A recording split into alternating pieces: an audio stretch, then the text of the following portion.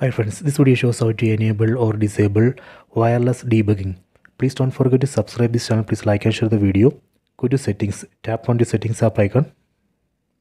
Go down, go to about device, tap here. Go down, tap on version.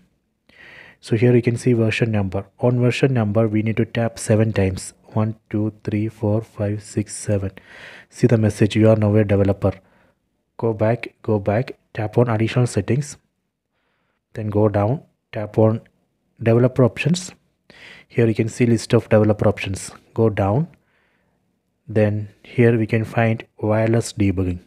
So i am going to enable wireless debugging. We can just tap here then tap on allow. See now i have enabled wireless debugging. So this way we can enable wireless debugging. Later if you want to disable you can again tap here and disable. So this way we can enable or disable wireless debugging I hope you have enjoyed this video. Please subscribe this channel. Please like and share the video.